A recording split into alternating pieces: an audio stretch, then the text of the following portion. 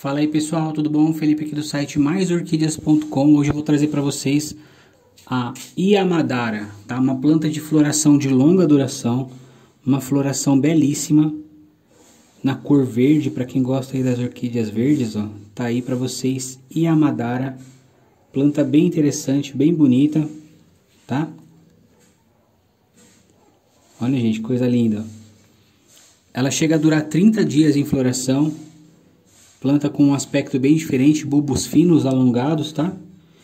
Tá aí por R$ 54,90. Quem tiver interesse é só clicar aí e garantir a sua. Últimas unidades, tá, gente? Não virá mais, pelo menos por enquanto. Então, para quem gosta aí das orquídeas verdes, tá aí para vocês. E a Madara por R$ 54,90. Últimas unidades.